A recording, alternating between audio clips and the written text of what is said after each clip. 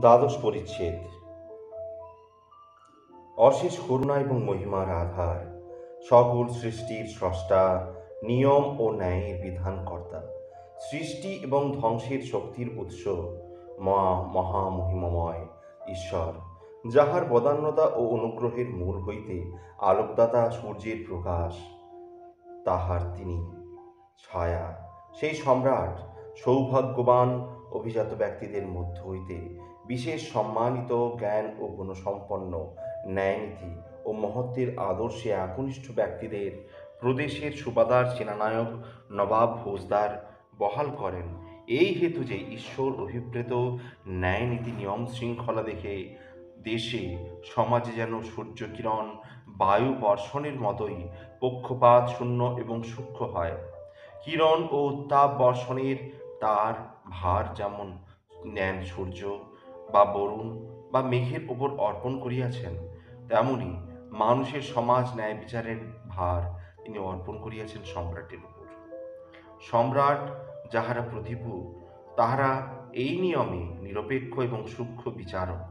এই অমুক নিয়মে যে বৃক্ষ সদম্ভে মস্তকোপত্তল, মস্তক উত্তোলন করিয়া বহু বৃক্ষের উপর অত্যাচার করে, তাহার মস্তকে ঈশ্বর বজ্র নিক্ষেপে তাহার নাশ করিয়া বহু অসহায় বৃক্ষকে রক্ষা করেন এবং প্রাপ্য আলোক ও জল যার প্রাপ্য আলোক ও জল দ্বার তাহাদের পালন করেন, দ্বারা তাহাদের পালন করেন। সম্রাটের নির্দেশ ও নিয়মে সাম্র- সাম্রাজ্যের স্তম্ভস্বরূপ এবং শাসকগণ অত্যাচারী মদমত্তকে ধ্বংস করিয়া নিরপেক্ষতা ও সুখের প্রতি দৃষ্টি রাখিয়া থাকেন ঈশ্বরের রাজ্যে একজন রাজা ও একজন সামান্য ভিক্ষুকের ভাগ্যফলে পার্থক্য পূর্বজন্মের কর্মফলে নির্দিষ্ট বা নির্ধারিত। সেই অনুসারে ভোগ ও সুখের তারতম্য সত্ত্বেও কিন্তু তাহাদের প্রাণের মূল্য এক। সেই নিয়মেই সম্রাটের বিচারালয়ে একদা এক বিধবার পুত্রকে দৈবক্রমে লক্ষ্যভ্রষ্ট তীরের আঘাতে বধ করবার জন্য ন্যায়পরায়ণ কাজী সাহেব স্বয়ং সম্রাট নাসির উদ্দিনের বিচার করিয়াছিলেন এবং সম্রাট অবনত মস্তকে সেই বিচার শিরধার্য করিয়াছিলেন। ইসলামের মহামান্য পয়গম্বর সামান্যতম মানুষকেও সকলের সঙ্গে সমান মর্যাদা দিয়া গিয়াছেন। অশেষ করুণার আধার ঈশ্বর। অন্যায় অত্যাচারে অত্যাচারিত সামান্য প্রাণীর দুঃখে দীর্ঘ নিঃশ্বাস ফেলিয়া থাকেন। সামান্যতম ব্যক্তি অন্যায়ভাবে পীড়িত হইলে তাহা জ্ঞাত হইবা মাত্র। ঈশ্বরের ছায়া স্বরূপ সম্রাটের বৃক্ষ হইতেও তেমনি দীর্ঘশ্বাস পড়ে সম্রাটের রাজ্যে শাসকবৃন্দ সেই সব গুণের শরিক, আমাদের তাহাদেরও বিচলিত মন। মহামান্য ফৌজদার অশেষ গুণসম্পন্ন, শ্রীল শ্রীযুক্ত মোহাম্মদ হাফেজ খাঁ জনাব আলী বাহাদুর, আপনি অভিজাত, আপনি ধার্মিক, আপনি নির্ভীক, আপনি দয়া হৃদয় অথচ ন্যায়পরায়ণ। আপনার শাসনাধীনে প্রজাবর্গ, ধনী, নির্ধন, স্ত্রী, পুরুষ, হিন্দু, মুসলমান নির্বিশেষে সুখেই কালা ভিপাত করিতেছে। তবুও বৃত্তিকার গহ্বরে দিবসকালের অন্ধকারের মতো মৃত্তিকার গহ্বরে দিবসকালের অন্ধকারের মতো, সেই অন্ধকার গহ্বরবাসী হিংস্র অজগরের মতো লুক্কায়িতভাবে অন্যায়কারী অত্যাচারী যে রহিয়াছে, ইহা সত্য এবং সে সত্য লুব্ধ দূরদৃষ্টি সম্পন্ন মহামান্য ফৌজদার সাহেবেরও অস্বীকার করিবেন না। বহু ক্ষেত্রে ইমারতের মধ্যেও এমন অজগর বাস করে। আপনার এলাকাধীনে গজ ইলাম বাজারের এমনই এক অজগর চরিত্রের ব্যক্তি অর্থ সম্পদের ইমারতের গহ্বরে আত্মগোপন করিয়া বিষ ও নিঃশ্বাসে বায়ু বিষাক্ত করিতেছে। বহু অসহায় জীবকে কবলগত করিয়া নাশ করিতেছে, গ্রাস করিতেছে। আমি ইলামবাজারের ধনী ব্যবসায়ী রাধামোহন দে সরকার এবং তাহার পুত্র অর্কুর সরকার, অর্কুর দে সরকারের কথা বলিতেছি। মাধবানন্দ হাতমপুরের ফৌজদার হাফিজ খাঁর উদ্দেশ্যে পত্র রচনা করিতেছিলেন। ধুলো কাদা মেখে কয়ও সামনে একটা গাছতলায় শুয়ে খাচ্ছিল। কয়ও সুপুরে গোসাই ঠাকুরের ওখান থেকে হতাশ হয়ে কাঁদতে কাঁদতে এখানে এসেছে। নবীন গোসাই তুমি আমাকে বাঁচাও। তোমার জন্যেই গোসাই তোমার জন্যেই এ সর্বনাশ। তুমি বাঁচাও। প্রথমে সে মাধবানন্দের কাছে আসেনি, আসতে ভরসাও হয়নি। মনও চায়নি। সে তো রথরা যাত্রার দিন এসে গোসাইয়ের কাছে কৃষ্ণদাসীর দুর্দশার কথা জোড় হাত দিয়ে নিবেদন করেছিল। সিদ্ধ পুরুষ, দয়া করো। কিন্তু দয়া হয়নি। গোসাই দেখিয়ে দিয়েছিল হাতেমপুরের ফৌজদারের দরবার। ফৌজদার লোভ ভালো, তার বেগম আরও লোক ভালো। কিন্তু রাজা, বাদশাহ ফৌজদারের মন গরিবের দুঃখে কাঁদতে চাইলেও কাঁদবার তাদের অবকাশ কোথায়? ভগবান যে ভগবান তারই সময় হয় না, শুধু সময়, এর বিচার করাও তো সোজা নয়। ভাবতে গেলে কয়র চোখের সামনে বিশ্ব ব্রহ্মাণ্ড হিজিবিজি হয়ে যায়। কয় এই সরজ বড় জঙ্গলের দিকে তাকায় আর ভাবে, বনে বাঘ আছে, হরিণ আছে। বাঘ বলে, ভগবান, খেতে দাও। হরিণ বলে, দাও। বাঘ বলে, ভগবান, খেতে দাও। হরিণ দাও, মেরে খাই। হে ভগবান হে ভগবান। হরিণ বলে, ভগবান, বাঘের হাত থেকে বাঁচাও, কচি ঘাস দাও, ভগবান, হে ভগবান। ভগবান কি করে? ওদিকে যখন দ্রৌপদীকে হয়তো চুলে ধরে দুঃশাসন রাজ্যসভায় এনে তার কাপড় ধরে টানছে, দ্রৌপদী ডাকছে, গোবিন্দ, রক্ষা করো। ঠাকুর তখন বাঘ হরিণের কথা কানে তোলেন, দ্রৌপদীকে কাপড় জোগান কিংবা কুরুক্ষেত্রে রথের ঘোড়া চালান। তাছাড়া অক্ষুর যদি ফৌজদারকে বলে, জনাব, আমি বড় লোকের ছেলে, আমার অনেক টাকা, তোমাকে দফায় দফায় খেলাত দিই পেশকাস দিই আমার দরবারও তো তোমাকে শুনতে হবে। আমায় যদি লোক ও লস্কর না থাকে আমার, তাহলে তো আমি কিসের বড় লোক? আমার বড় বাড়ি, ঘোড়া, পালকি না থাকলে আমার চলে না। তেমনি মোহিনীর মতো দু চারটে সেবাদাসী না থাকলে চলবে কেন? বাদশার ঘরে দশ হাজার, বিশ হাজার বাঁধি। নবাবের ঘরে হাজার, দু হাজার। ফৌজদার, কাজী, জমিদার, এদের ঘরে গন্ডায় গন্ডায় বাউনদের বামুনদের স্বদরুণী পরিবার অর্করদের দোষীবা তাহলে কোথায়? ওই তো সেদিন সেই নীল মানিকটা পেয়ে খুশি হয়ে তাকে খাইয়ে দুটো মিষ্টি কথা বলেছিল।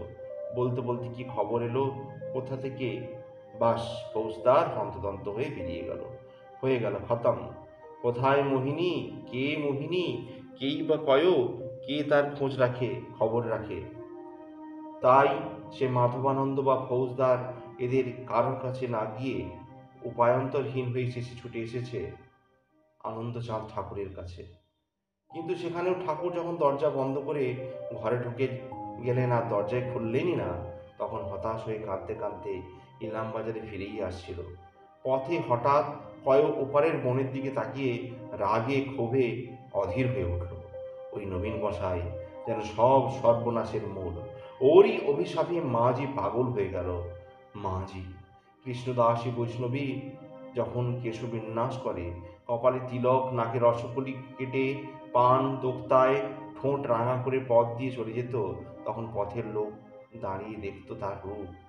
সে যখন কথা বলতো, তখন লোকে অবাক হয়ে শুনতো ভাবতো, কথা তো সবাই বলে, কিন্তু এমন কথা এ মেয়ে কেমন করে বলে? এ কথা কোন কথা? বারবার খুরের মতো যার ছটা বেলোয়ারি চুরির ঝিকিমিকির মতো কণ্ঠস্বরে বাঁশির সুর, কথার সঙ্গে হাসিতে মধুর আমেজ কয় মাঝিকে ভয় করত। তার আচার আচরণ ভালো লাগতো না, তবু ভালোবাসত। মন্দ কথা মন্দ মানে করতে ভালো লাগেনি। ভরসা হয়নি। একদিন সে বুড়ো বাউলদের দু চারজনের কথা শুনছিল। তারা বলা বলি করছিল মাঝি সাক্ষাৎ রাধা রসের দুতি গো, ওই রসে ডগমগ চলনে হাসি, বলনে হাসি, রঙ্গে হাসি, ব্যঙ্গে হাসি। রসের পিঠে রসে রসে এগিয়ে আছে তুলে ধরতে বলে পড়ে, সাক্ষাৎ রসময় কৃপা না হলে কি জীবনে এত রস ঢোকে? জয় রাধে জয় রাধে। রসেই আস রসেই বাস রসেই ভোজন, রসেই শয়ন, রসেই স্বপন, রসেই জাগরণ। চামড়ার চোখে চেয়ে না দেখে মাঝিকে বিচার করো না, ঠকবে। মা, চামড়ার চোখে চেয়ে মাঝিকে বিচার করো না, ঠকবে। বুড়ো বাউল বলাই দাস গান গিয়ে উঠেছিল। সেই গান যা তাদের একান্ত অন্তরঙ্গ ছাড়া কারও কাছে গাইতে নেই, গাইতে মানা। সেই গান একে অপরের কানের কাছে মুখ কিনে রসের ঘোরে মুচকি মুচকি হেসে গুনগুন করে গিয়েছিল। রসের ভজন রসের পূজন রসের ভোজন করো। রসেতে মজিবে, রসেতে পুজিবে, রসেতে বাঁধিবি ঘর। রসেতে শয়ন, রসেতে স্বপন রসে হাসা রসে কাঁদা রসের সাগরে ডুব দিলে পরে রসময় পড়ে বাধা। অন্ধকারে গাছতলায় শুয়েছিল স্বয়ং। তার ধাঁধা জটিল হয়ে উঠেছিল। কৃষ্ণদাসী আরও রহস্যময়ী হয়ে উঠেছিল তার কাছে। সেই মাঝি উন্মাদ পাগল হয়ে গেল এই নবীন গোসাইয়ের রসে। তার সাপে দায়ী তুমি, দায় তোমার দায় তোমার, দায়ী তুমি। নবীন গোসাই, দায়ী তুমি। রাগে, ক্ষোভে, খ্যাপার মতো এই বলে চিৎকার করতে করতে চিলাম চিলামবাজারের রাস্তা থেকে সরে কখন যে অজয়ের কুলে এসে হাজির হয়েছিল, কখন যে নদী পার হয়ে এবারে বনের মধ্যে প্রবেশ করে আশ্রমের ফটকে এসে উঠেছিল, সেই সম্পর্কে কোনো সচেতনতা বোধ তার ছিল না। প্রচণ্ড ক্ষোভে, ক্ষুব্ধ কয় আশ্রমের দুয়ারে চিৎকার করেছিল দায় তুমি। দায় তোমার দায় তোমার, দায় তুমি। নবীন গোসাই, দায়ী তুমি। মাধবানন্দ অশ্রান্ত পদক্ষেপে মন্দিরের চারিদিকে পদক্ষিণ করে ফিরছিলেন। কেশবানন্দ তাকে বন্দি করে চলে গেছেন। শ্যামানন্দ ও আরও কয়েকজন তরুণ সন্ন্যাসী নতদৃষ্টিতে বা উদাস দৃষ্টিতে তাকিয়ে তার দৃষ্টির সঙ্গে দৃষ্টিপূর্ণ বিনিময়ে সংকোচ বা লজ্জা এড়িয়ে তার উপর বোধ করি প্রহরা দিয়েই বসেছিল। মাধবানন্দ তাদের সঙ্গে একবার মাত্র কথা বলেছিলেন। একটি প্রশ্ন করেছিলেন, কেশবানন্দের উপলব্ধিকেই কে তোমরা সত্য বলে মনে করো? আমি ভ্রান্ত বলে তোমাদের বিশ্বাস?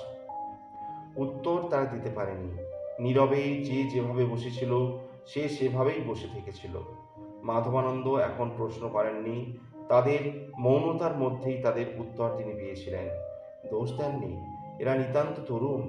প্রত্যেকেই তাদের থেকেও বয়সে, তার থেকেও বয়সে নবীন এবং এদের দু তিনজনকে বাদ দিয়ে প্রত্যেকেই কোনো না কোনো আঘাতে আহত হয়ে গৃহ ত্যাগ করে সন্ন্যাসী হয়েছে।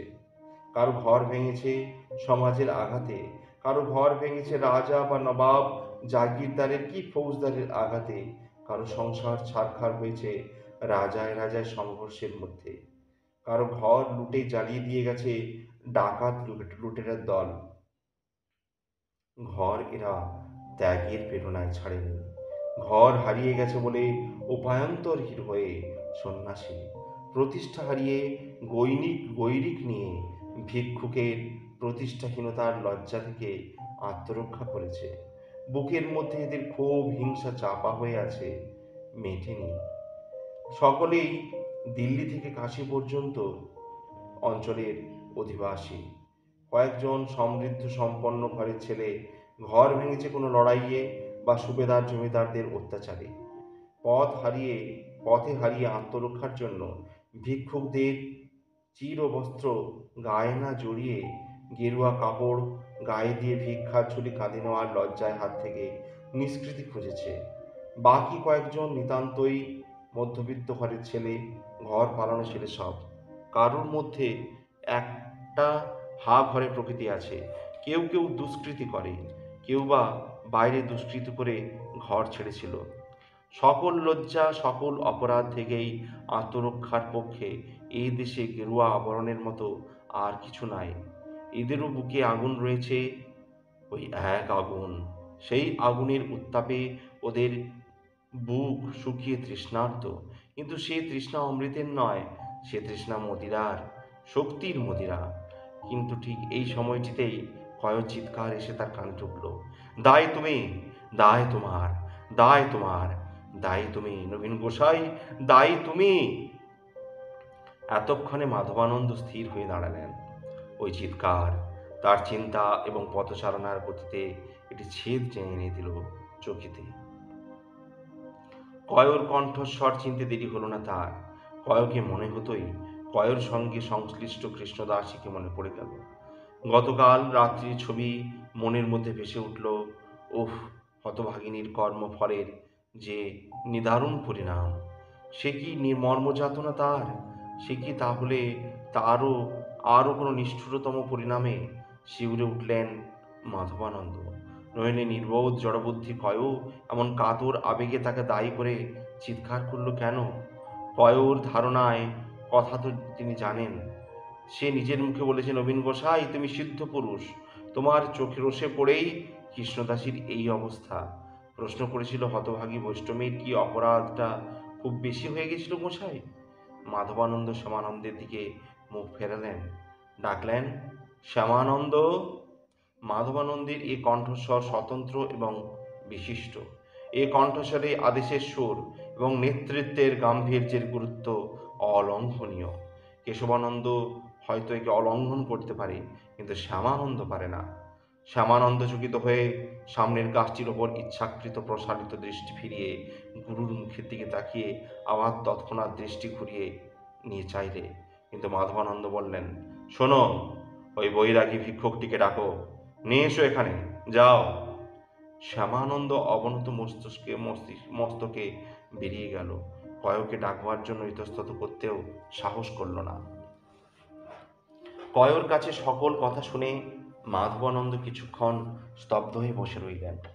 কৃষ্ণদাসী গত রাত্রির অন্ধকারে কোথায় হারিয়ে গেছে, উন্মাদিনী হয়েছে, অজয়ের জলস্রোত যেমন অগভীর, কিন্তু মধ্যে মধ্যে দহ আছে, দহে কুমির আছে। কৃষ্ণদাসীর মর্মযাতনার অবসান হয়নি, এভাবেও হয়ে থাকে, তবে যদি হয়ে থাকে, তবে সে নিষ্কৃতি পেয়েছে। এক মুহূর্ত পরে অকস্মাৎ শিবিরে উঠলেন তিনি। কৃষ্ণদাসীর নিষ্ঠুরতম পরিণতির জন্য নয়, মুহূর্তে তার চিন্তা কৃষ্ণদাসীর দিক থেকে চলে গিয়েছে, গোটা সমাজের বিকৃত অবস্থার দিকে।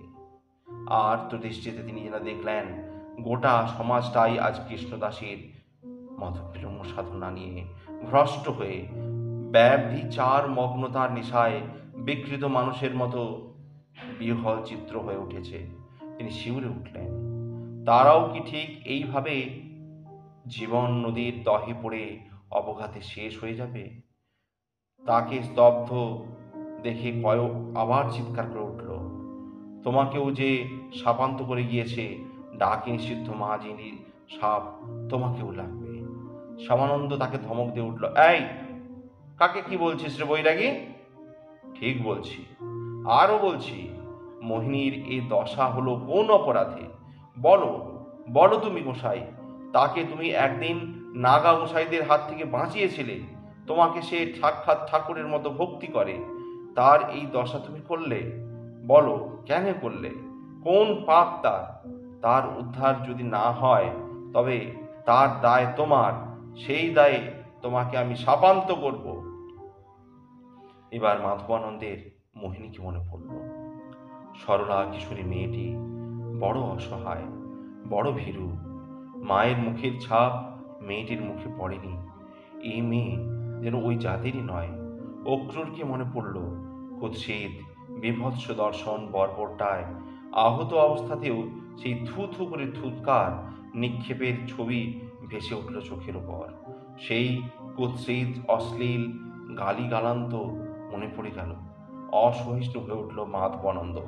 কয়েক মুহূর্ত চিন্তা করে একটা দীর্ঘশ্বাস ফেলে বললেন, বস তুই, কি করব বসে? কি হবে? বস, উপায় আমি করছি। তুই কিছু খা। শ্যামানন্দ, ওকে কিছু খেতে দাও। আগে বলো কি উপায় করবে? ফৌজদারকে আমি পত্র লিখে দিচ্ছি। সেই পত্র তুই নিয়ে যা, ফৌজদার অবশ্যই বিধান করবে। ছাই করবে করবে না করবে না।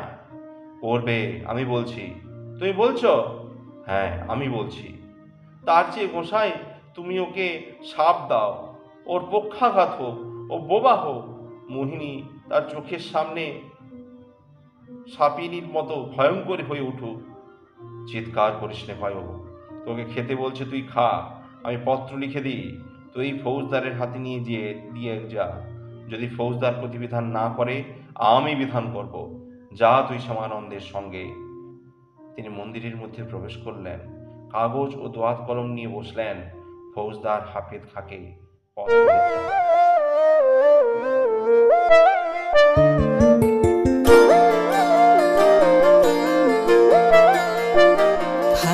হাওয়ায় হাওয়ায় করেছি যে দান তোমার হাওয়ায় হাওয়ায় করেছি যে দান। আমার আপন হারা প্রাণ